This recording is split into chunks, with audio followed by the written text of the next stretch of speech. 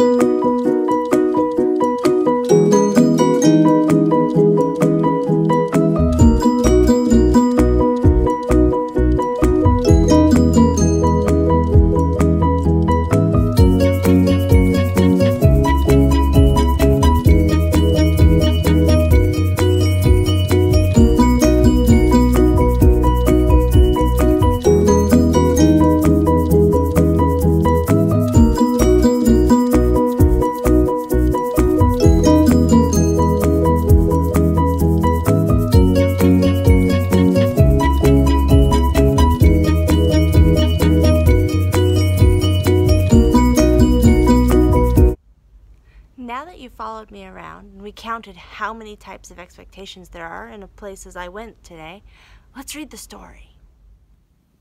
Rules of the House by Mac Barnett and Matt Myers. Ian always followed the rules. Here he is following the rule always pack your toothbrush. Rules are meant to be followed, Ian would say. And Ian meant it. Ian's older sister was Jenny, and she never followed the rules. Here she is breaking the rule don't pinch. Ow! Jenny pinched me, said Ian. No, I didn't, said Jenny. Don't tell lies, said his dad, as he pulled into their vacation house in the woods. That is a very important rule. The house in the woods was tidy and warm. The living room had a potbelly stove, and the den had a bearskin rug, and the bathroom had a clawfoot tub. Ian thought it was great. Best of all was a framed piece of paper in the hallway that said, The Rules of the House. Look, said Ian. Rules! You're such a toady, said Jenny, and then pinched him. Ouch, said Ian. You're not supposed to ouch. Ian drew a deep breath and read the rules with gusto. The rules of the house.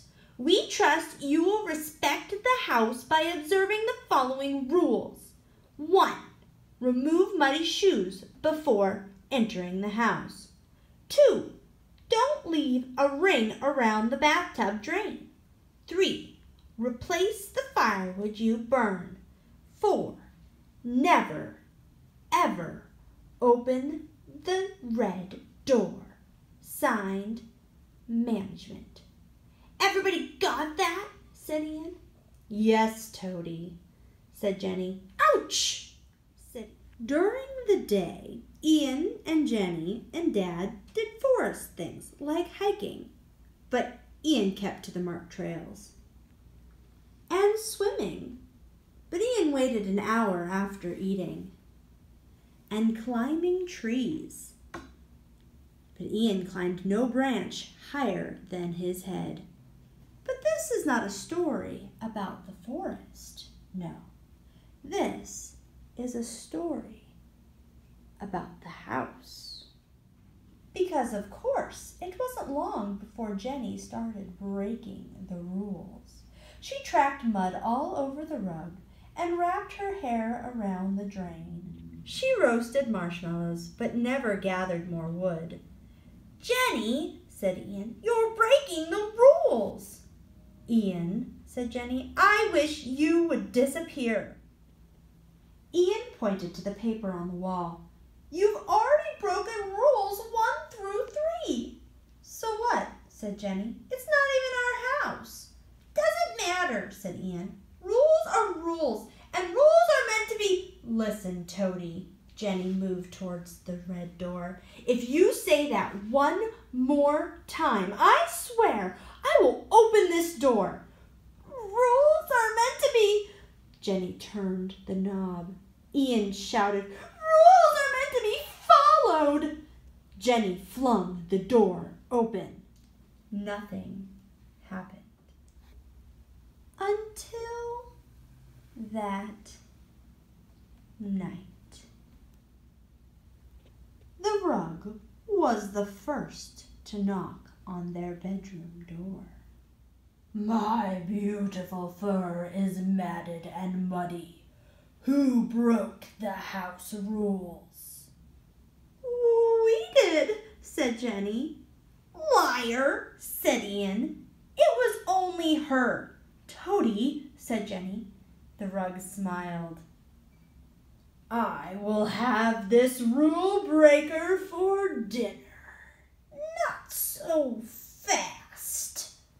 The tub leaped into the room. I've had a taste of her hair, and I'm hungry for more.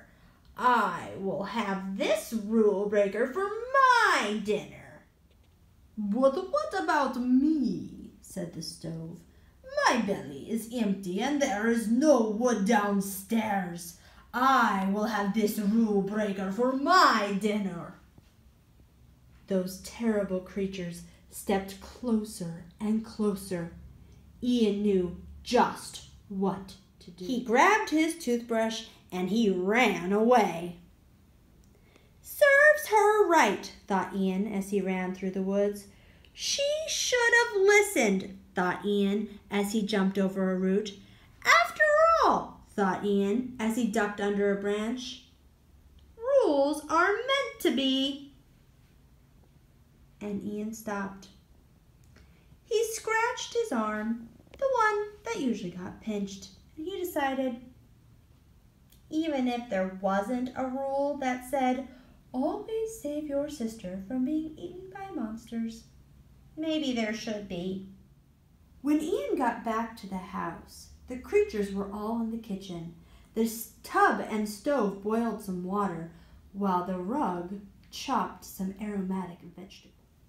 Rule breaker soup for dinner, they sang. Rule breaker soup for dinner.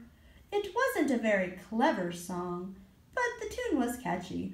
Rule breaker soup for dinner. They built it out in a three part harmony. Ian rushed into the kitchen. Stop, he said. Don't eat my sister. What, Ian? said the stove. She did not follow the rules. Yeah, but, said Ian, but. It was then that Ian realized he didn't have a plan. If you want to eat my sister, you'll have to eat me first. Brilliant! The monsters wouldn't eat him. Ian always followed the rules. Okay, said the stove.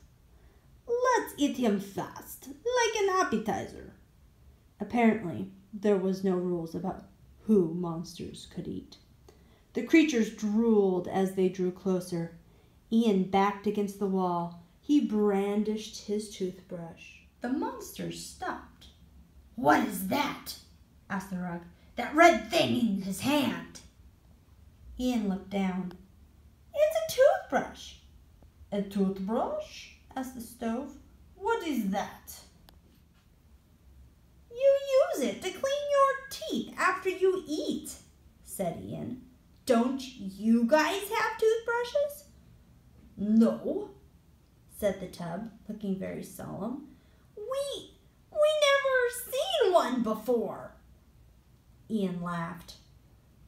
You were going to eat us and you don't even have toothbrushes? You're supposed to always pack a toothbrush. That's a rule. It is? asked the toad. Yes, said Ian. You broke a rule. You're rule breakers. We are?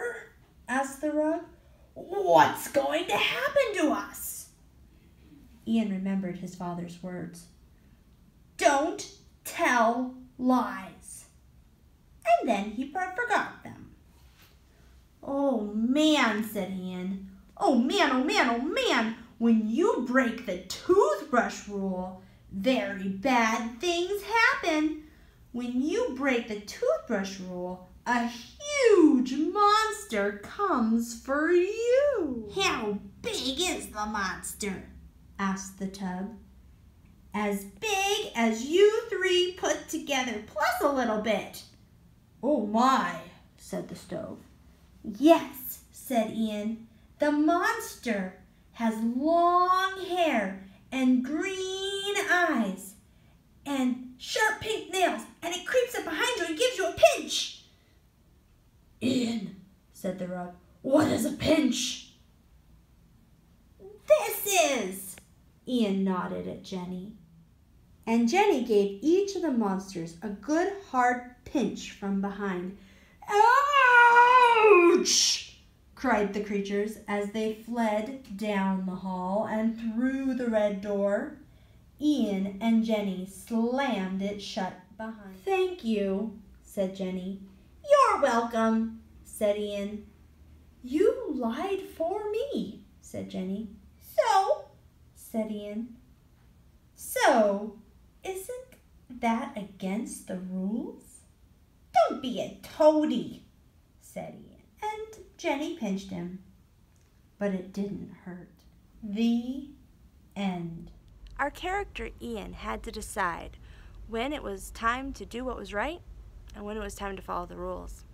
In our story, The Rules of the House by Mac Barnett and Matt Myers, I hope they inspired you to choose to always do what's right.